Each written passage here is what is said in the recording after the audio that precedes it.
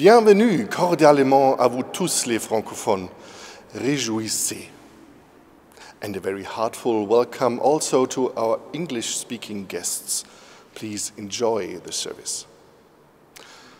Und herzlich willkommen auch Ihnen, die Sie mich jetzt vielleicht besser verstehen. Schön, dass Sie heute da sind, am zweiten Sonntag nach Trinitatis, wo wir diesen Gottesdienst feiern wollen im Namen des Vaters und des Sohnes und des Heiligen Geistes. Amen.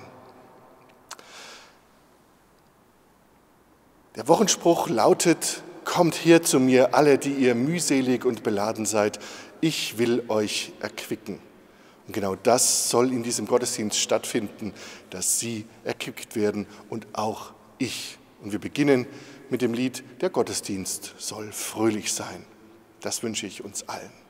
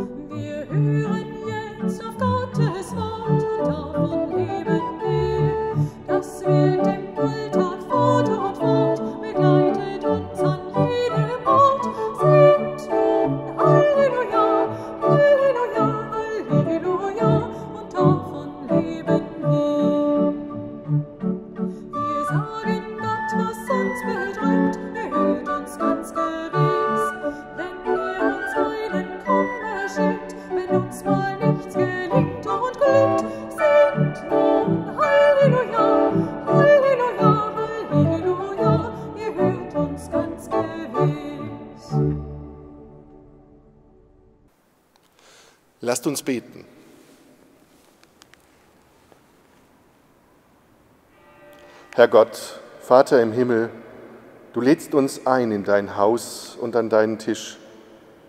Gib, dass wir deiner Einladung voll Vertrauen folgen. Sättige uns aus deiner Fülle und erquicke die mühseligen und beladenen durch Jesus Christus, unseren Heiland, heute und in Ewigkeit. Amen.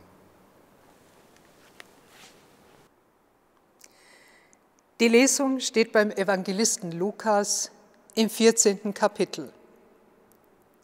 Einer, der mit zu Tisch saß, sprach zu Jesus, Selig ist, der das Brot isst im Reich Gottes. Jesus sprach, es war ein Mensch, der machte ein großes Abendmahl und lud viele dazu ein. Und er sandte seinen Knecht aus zur Stunde des Abendmahls, den Geladenen zu sagen, kommt, denn es ist schon bereit. Da fingen sie alle an, sich zu entschuldigen. Der erste sprach zu ihm, ich habe einen Acker gekauft und muss hinausgehen und ihn besehen. Ich bitte dich, entschuldige mich. Und ein anderer sprach, ich habe fünf Joch Ochsen gekauft und ich gehe jetzt hin, sie zu besehen. Ich bitte dich, entschuldige mich.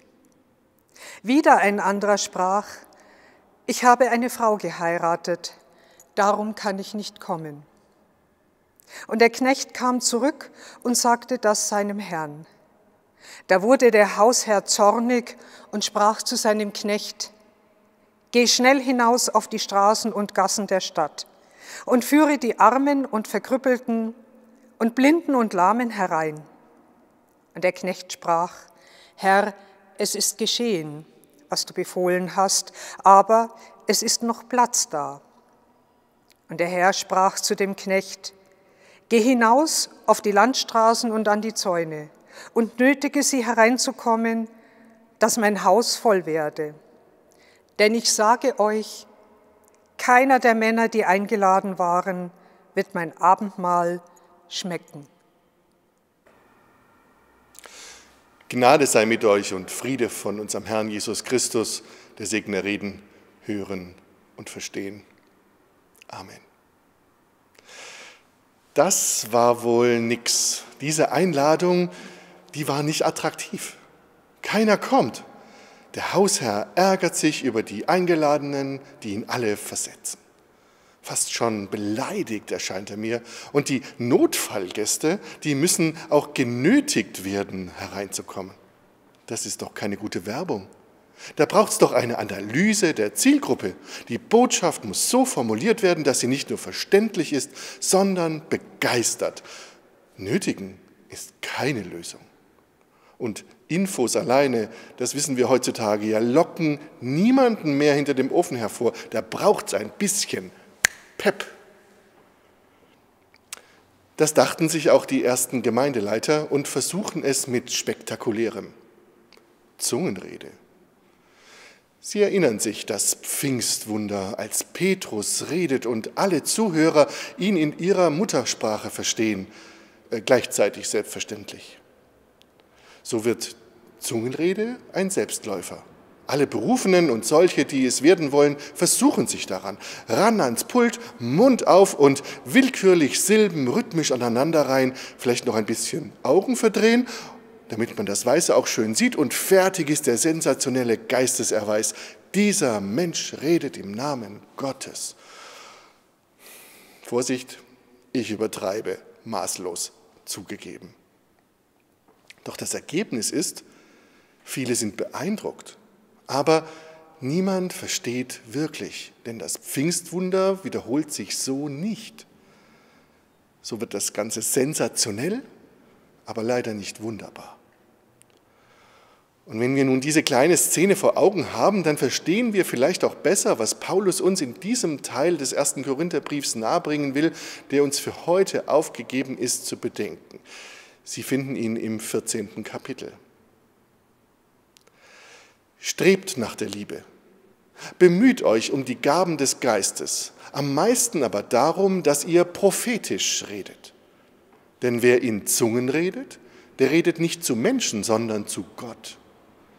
Denn niemand versteht ihn. Im Geist redet er Geheimnisse. Wer aber prophetisch redet, der redet zu Menschen, zur Erbauung und zur Ermahnung und zur Tröstung. Wer in Zungen redet, der erbaut sich selbst. Wer aber prophetisch redet, der erbaut die Gemeinde. Ich möchte, dass ihr alle in Zungen reden könnt, aber noch viel mehr, dass ihr prophetisch redet. Denn wer prophetisch redet, ist größer als der, der in Zungen redet. Es sei denn, er legt es auch aus, was er da redet, auf dass die Gemeinde erbaut werde. Nun aber, Brüder und Schwestern, wenn ich zu euch käme und redete in Zungen, was würde ich euch nützen, wenn ich nicht mit euch redete in Worten der Offenbarung oder der Erkenntnis oder der Prophetie oder der Lehre? So verhält es sich auch mit leblosen Instrumenten. Es sei eine Flöte oder eine Harfe. Wenn sie nicht unterschiedliche Töne von sich geben, wie kann man erkennen, was auf der Flöte oder auf der Harfe gespielt wird? Und wenn die Posaune einen undeutlichen Ton gibt, wer wird sich zur Schlacht rüsten? So auch ihr. Wenn ihr in Zungen redet und nicht mit deutlichen Worten, wie kann man wissen, was gemeint ist? Ihr werdet in den Wind reden. Es gibt vielerlei Sprachen auf der Welt und nichts ist ohne Sprache. Wenn ich nun die Bedeutung der Sprache nicht kenne, werde ich ein Fremder sein für den, der redet, und der redet wird für mich ein Fremder sein so auch ihr. Wenn ihr euch bemüht um die Gaben des Geistes, so trachtet danach, dass ihr sie im Überfluss habt und so die Gemeinde erbaut. Wenn nun die ganze Gemeinde an einem Ort zusammenkäme und alle redeten in Zungen und es kämen aber Unkundige oder Ungläubige hinein, würden sie nicht sagen, ihr seid von Sinnen? Wenn ihr aber alle prophetisch reden und es käme ein Ungläubiger oder Unkundiger herein, der würde von allen überführt und von allen gerichtet. Was in seinem Herzen verborgen ist, würde offenbar. Und so würde er niederfallen auf sein Angesicht, Gott anbeten und bekennen, dass Gott wahrhaftig unter euch ist. So, jetzt sind wir vollständig verwirrt. Ein typischer Paulus. Doch von vorne. Wir Getaufte haben den Geist Gottes empfangen und sollen auch im Geist Gottes leben. Nur leider schaffen wir das alleine nicht dauerhaft. Wir brauchen die Gnadengaben dazu, die Gottes Geist uns geben will. Diese Geistesgaben beschreibt Paulus in drei Kapiteln des ersten Korintherbriefs. In Kapitel 12 lesen wir, wie Menschen in unterschiedlicher Weise von Gott begabt werden. Gottes Geist wirkt in jedem anders. Deshalb brauchen wir einander, wie ein Leib alle Glieder braucht, um vollständig zu sein. Kapitel 13 enthält die wunderschöne und berührende Beschreibung des wichtigsten, der wichtigsten zentralen Gabe der Liebe. Sie steht deshalb auch in der Mitte von Paulus Betrachtungen. Und dann folgt, last but not least, Kapitel 14, unsere Abhandlung über die beiden verschiedenen Arten vor der Gemeinde zu reden, die prophetische Rede und die Zungenrede. Sie fragen sich sicher, was ist Zungenrede eigentlich? Ich habe ja zum Anfang schon ein bisschen karikiert. Glossolalie, die Zungenrede, hört sich an, als ob Kinder eine Fremdsprache nachmachen. Redner nutzen sie, um unmittelbar zu Gott zu sprechen, ohne von Grammatik und Vokabeln behindert zu werden. Bei den Hörern kommt diese Rede als Privatsprache an, deren Sinn sich nicht erschließt. Das heißt, jemand muss übersetzen, wenn sie verstanden werden soll. Andernfalls bleibt es für die Hörer bei einem dramatischen Show-Effekt. Vielleicht nähern wir uns als eher nüchterne Lutheraner dem Phänomen Zungenrede von der neurowissenschaftlichen Seite mal. Unsere höheren Gehirnfunktionen sind abhängig von physiologischen Vorgängen, die wir nur teilweise verstehen. Trotzdem hat alles, was wir erleben, eine physiologische Grundlage. Ohne Hirnfunktion kein Denken, kein Fühlen, keine Beurteilung etc. Unterschiedliche Gehirnanteile haben dabei unterschiedliche Aufgaben.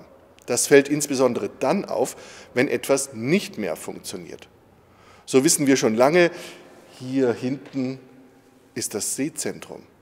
Und hier an der Seite das Sprachzentrum. Hier oben der motorische Kortex, der für die willkürlichen Bewegungen zuständig ist. Und hier im präfrontalen Kortex fokussieren wir uns. Hier planen wir, entscheiden. Hier findet soziale Selbstkontrolle statt. Forscher haben die Gehirnaktivität von Menschen untersucht, während sie in Zungen geredet haben. Sie fanden dabei eine Erniedrigung der Aktivität im präfrontalen Kortex. Das heißt, während des Zungenredens ist die Entscheidungsfähigkeit des Menschen herabgesetzt. Hemmungen fallen, Ziele ebenso, Kontrolle geht verloren. Und das heißt wiederum, das Zungenreden wird zur Sprache des Un- bzw. Vorbewussten und ereignet sich unkontrolliert. Der Eindruck für den Redner selbst ist, ich werde geredet. Etwas redet aus mir heraus, spirituell gewendet, Gott redet aus mir heraus. Wow, oder? Versuchen Sie sich das vorzustellen, wie es sein muss, wenn Gott direkt aus Ihrem Mund spreche. Ich sage Ihnen, die Vorstellungskraft reicht dazu nicht aus. Es ist ungefähr so, als ob Ihnen jemand beschreibt, wie es ist, über beide Ohren verliebt zu sein. Das ist ebenso unvorstellbar für diejenigen, die es noch nie erlebt haben, wie es das ist mit der Zungenrede. Ich sehe ein paar Gesichtern an. Sie wissen, was ich meine. Nur zur Info in mystischen Erfahrungen mit Meditation schalten sich andere Gehirnanteile aus, gerade umgekehrt wie bei der Zungenrede. Und zu guter Letzt will ich Ihnen auch nicht verhehlen, was die Liebe im Hirn ausknipst. Alle Bereiche, die mit Angst oder Aggression verbunden sind. Und das wundert uns Liebende dann eigentlich nicht mehr. Das Ausknipsen von Hirnanteilen durch Zungenrede, Meditation und Liebe hat übrigens nur positive Effekte, wie wir uns das auch vom Heiligen Geist nicht anders vorstellen können. Wenn wir dagegen versuchen, unser Hirn mit anderen Hilfen auszuknipsen, liegt da wenig Segen drauf, denn in Vino findet sich vielleicht etwas Veritas, aber was wir dann damit anfangen, ist meistens eher schwierig. Um auf unser Grundthema zurückzukommen. Gott lädt uns ein. Er lädt uns ein, seinen Geist zu empfangen, seine Geistesgaben zu entwickeln und anderen diese gute Botschaft weiterzugeben für die Menschen heute. Und das ist Paulus Punkt. Auch die Geistesgaben können verfehlt eingesetzt werden. Wem nützt es, in Zungen zu reden, wenn er jemanden einladen will? Es geht Paulus um die Vorzüge prophetischer Rede. Keine Sorge, dabei wird nichts ausgeknipst. Im Gegenteil, es soll den Menschen, die sie hören, ein Licht aufgehen. Mit Paulus Worten, wenn nun die ganze Gemeinde an einem Ort zusammenkäme und alle redeten in Zungen, es kämen aber Unkundige oder Ungläubige herein, würden sie nicht sagen, ihr seid von Sinnen? Wenn aber alle prophetisch redeten und es käme ein Ungläubiger oder Unkundiger herein, der würde von allen überführt und von allen gerichtet. Was in seinem Herzen verborgen ist, würde offenbar und so würde er niederfallen auf sein Angesicht, Gott anbeten und bekennen, dass Gott wahrhaftig unter euch ist.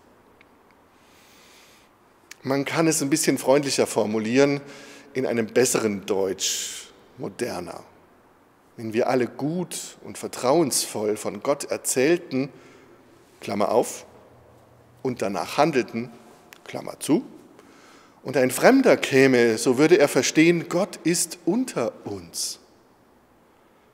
Das Gute ist, Sie und ich müssen nichts alleine tun. Wir stehen nicht vor der Aufgabe, alle Menschen zu Christen zu machen. Das tut Gott schon selbst. Wir sind nur aufgerufen, von dem zu erzählen, der uns Christen im Innersten bewegt.